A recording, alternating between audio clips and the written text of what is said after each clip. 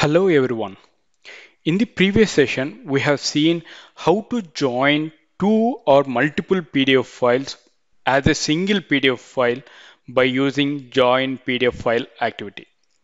Now in this session, that what I'm going to do, I'm going to create a PDF file from a already existing a PDF file by using a particular range. Let me explain you a scenario. Now let me start with the scenario. If you see on my screen that I'm having a PDF file, sample PDF file with the name of images and text.pdf file. If you observe in this PDF file, I'm having 15 pages. Out of these 15 pages that I want to create a new PDF file from a particular range. Let us assume I want to from uh, four and five pages only that I have to create a particular PDF file. How can I go ahead and do that? By using extract PDF page range activity, I can create a new PDF from the existing PDF file. Now let me go to the project and then I'm going to create a new sequence by clicking on add sequence.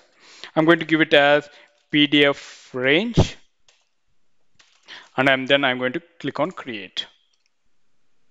Now let me go to activities under PDF, let me drag and drop extract PDF page range activity onto the panel.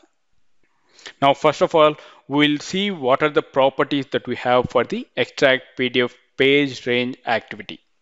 If you see on my screen that I'm having the properties, one is file name, that is which file you want to work on. Now let me browse for the file.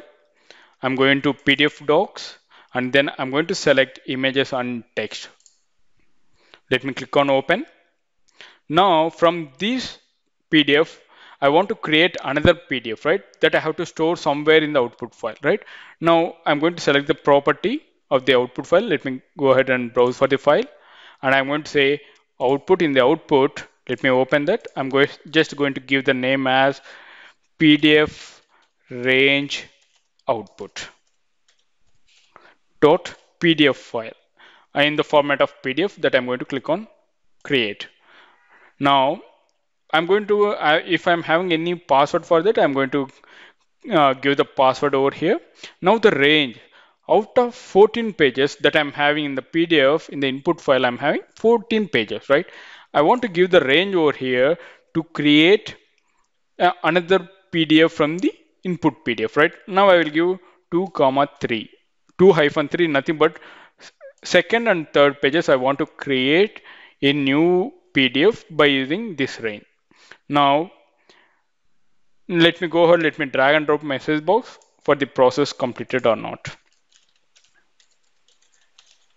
I'm just giving as process completed. Now, let me run the bot. Now the bot has been executed successfully. Now let me go to the project again. Let me refresh it and let me go to the output. If you see over here, PDF range output dot PDF has been created. Let me double click on that. Now let me open the input also. Let me put it side by side.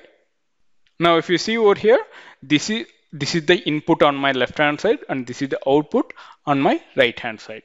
So if you see 2 and 3 are the pages which we are having the input or the same PDF has been created with the name of PDF range output.pdf. You can see with the output two only two pages as mentioned in the range, right? This is how we are going to be using extract PDF range activity as part of to create a new PDF from the existing PDF file. I hope you understand how to use the extract PDF page range activity in this session. Thank you for watching UiPath tutorials. If you have any queries related to this concept, please post them in the comment section. I will see you in the next session. Till then, bye-bye. Have a nice day.